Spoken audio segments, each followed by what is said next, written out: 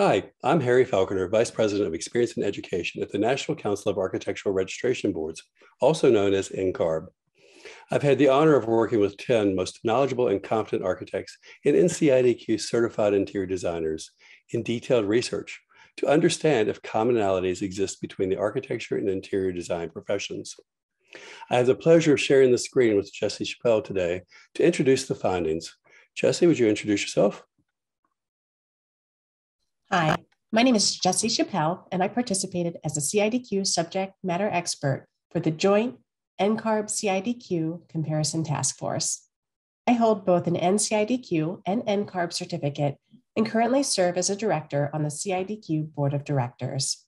So let us tell you about the joint study and the report. Architects and interior designers frequently collaborate to serve the public through the design of the built environment. While shared knowledge and expertise can lead to effective collaboration between professionals, this can also lead to a lack of clarity regarding the practice boundaries between architecture and interior design. To better understand the similarities and differences between the professions, NCARB and CIDQ are releasing a joint report that assesses the alignment and distinctions between the task, knowledge, and skills necessary for competency in each profession. The purpose of this report is to enable NCARB, CIDQ, and others in the design industry to have more informed discussions and a better understanding of our respective roles and responsibilities when it comes to protecting the public's health, safety, and welfare. While many similarities exist, architects and interior designers have distinct roles within the built environment. We'll briefly share some background information on this report. With an increasing number of US states and territories regulating the practice of interior design, the intersection of practice with architecture has also increased. This map provides some insight into the range of different regulatory positions across the US and associated jurisdictions. To help us explore this changing landscape, in 2019, NCARB and CIDQ came together to review and compare the practice analyses and exam assessment objectives for both professions. The goal? To identify the similarities and differences in defined competencies. This effort also serves to better inform regulators about the knowledge requirements of each profession. This sort of collaborative analysis had never previously been attempted, yet it seemed foundational to future dialogue between the disciplines and the establishment of reasonable regulation. NCARB and CIDQ each established a team of subject matter experts who compared the knowledge, skills, and tasks identified in each organization's practice analysis, as well as the assessment objectives of each organization's required examination. A practice analysis is a scientific study that defines the knowledge, skills, and tasks required to competently practice one's profession. These studies are regularly updated to reflect the current state of the profession and the needs of practitioners. They are also the foundation for developing the exam test specifications. The NCARB and CIDQ teams independently performed a line by line comparison of tasks and objectives. After concluding their analyses, the two teams met jointly to review, compare, and discuss their findings. Both teams acknowledged that the analysis effort presented some challenges, and several terms within the NCARB and CIDQ practice analyses and exam specifications are shared by both professions, but have different meanings or applications within respective professional practice. Working together through these challenges, NCARB and CIDQ subject matter experts conducted a holistic comparison and an analysis of all the task and exam objectives for both professions. As a result, each line item was identified as having definite similarity, some similarity, or no similarity. The resulting joint report provides a detailed breakdown of the background, methodology, and findings. You will find charts detailing the proportion of similarities or lack of similarities between tasks identified on each organization's practice analysis, as well as each organization's assessment objectives for their respective exams. Also included are detailed comparison charts that represent tasks and objectives identified as having definite similarity, or some similarity. And equally important is the identification of tasks and objectives in which no similarities were identified.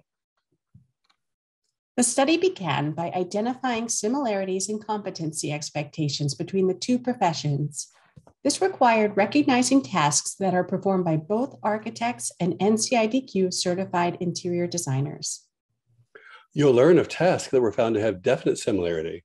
For example, NCARB's Perform Building Code Analysis task is definitely similar to CIDQ's Review the Design for Code Compliance. You'll also see the tasks that were found to reflect some similarity, such as CI, CIDQ's Verify Site Conditions and NCARB's Prepare Site Analysis Diagrams to document existing conditions. The collective team's analysis found that 67 of the 87 tasks in CIDQ's practice analysis, or 77%, reflected definite or some similarity, and 20 of the 87 tasks, or 23%, reflected no similarity to NCARB's tasks. Additionally, 77 of the 96 tasks in NCARB's practice analysis, or 80%, reflected definite or some similarity, and 19 of the 96, or 20%, reflected no similarity to CIDQ's task. Both professions rely on its examination to assess the knowledge and skills required to competently perform the tasks identified by its practice analysis. Completion of the exam, in combination with educational and experience requirements, establishes competency for regulated practice. Therefore, NCARB and CIDQ continued their comparison by looking at each organization's examination assessment objectives. These objectives are defined in NCARB's ARE 5.0 handbook and CIDQ's NCIDQ examination blueprint. In this section of the report, you'll learn of assessment content area objectives that were found to have definite similarity. An example is NCARB's apply procedures required for adherence to laws and regulations. This objective is definitely similar to CIDQ's permit requirements life safety, zoning, and building use. And an example of objectives that were found to reflect some similarity is CIDQ's integrate life safety elements into design and building construction types, and NCARB's identify relevant code requirements for building and site types. Overall, the team's detailed analysis found that 115 of the 138 knowledge areas for interior designers, or 83%, reflected definite or some similarity, and 23 of the 138 knowledge area objectives, or 17%, reflected no similarity with architects. Additionally, 76 of the 91 assessment objectives for architects, or 83%, reflected definite or some similarity. And 15 of the 91 content area objectives, or 17%, reflected no similarity with interior designers. CIDQ and NCARB hope that the findings highlighted in this report can be used to inform ongoing discussions between architects and interior designers, as well as support more effective and reasonable regulation of both professions. The team of subject matter experts who conducted this analysis concluded that NCARB and CIDQ both have well-established procedures and rigorous requirements that must be met to obtain a license to practice architecture or to gain NCIDQ certification. And that both professions of architecture and interior design, while similar in practice and required knowledge, are definitely unique and distinct disciplines that have both serve an important role protecting the health, safety, and welfare of the public within the built environment. Thank you. We hope that you find the report informative and interesting.